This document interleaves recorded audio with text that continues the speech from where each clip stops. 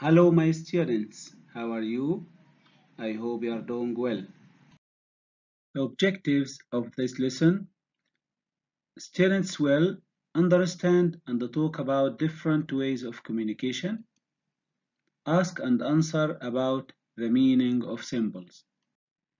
Look at page 12 and 13 of your class book. It's unit 2. What is this unit about? It's about communication. Okay. Look at the frieze on page 13. Yes. What can you see in this frieze? Yes. It is braille.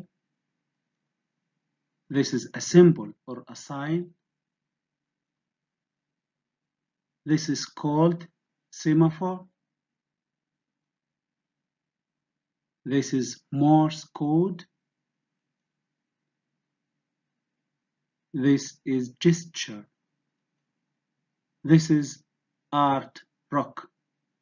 Okay, we will learn more about these symbols all in this unit. But this tells us that this unit is going to be about different ways of communication. Look at page 12 of your class book.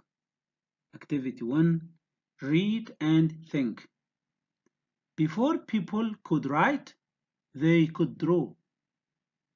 Look at these pictures found in Oman and Jordan. What can you see in these pictures? Yes. Picture number one. This rock art was found in the north of Oman, in a wadi in Musandam. Look at picture number two. This rock art was found in the south of Jordan, in Wadi Rum. Why do you think these pictures were drawn? Yes, it's a way of communication. They wanted to leave a message. What are different ways of communication? Yes, one of them, rock art. People used to draw pictures and tell each other stories as a way of recording their history. Gestures. We use body parts, hands, arms, fingers, head or legs to communicate what we want to say. Another way of communication is symbols. A symbol is a mark, sign, or word that gives a message. Braille. Braille is a way of communication for blind people. People who can't see very well can read by using their fingers to touch a code of raised dots on the page. These dots represent the letters of the alphabet. Semaphore. People send messages by holding two flags in the air in different positions. These represent the letters of the alphabet. Morse code. People send electronic messages using a special machine by tapping out a code of dots and dashes to represent the letters of the alphabet. Look at page 13 of your class book. Activity 3. Look and talk. Look at these symbols that we see around us every day. What do the symbols tell us?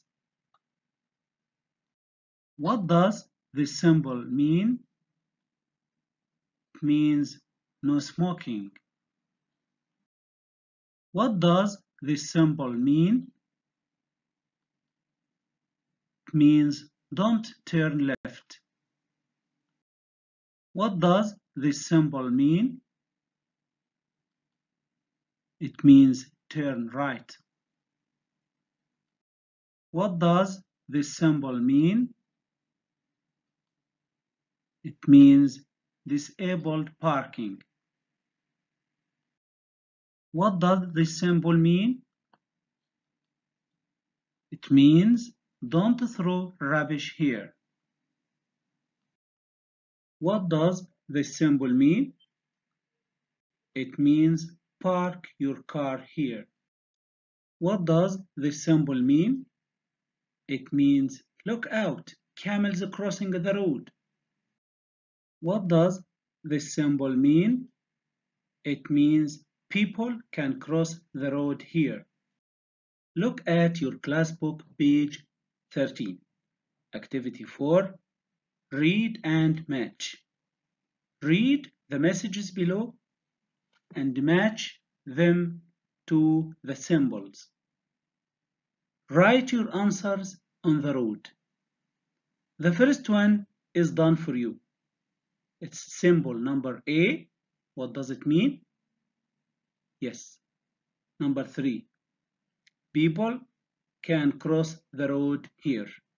Now complete the rest of the task on your own. Have you finished? Okay, check your answers. Number B, 6. C, 4.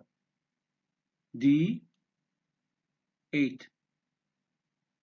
E, 2. F, 5. G, 1. H, 7. With my best wishes, I'm Adil Gaber. Goodbye and good luck.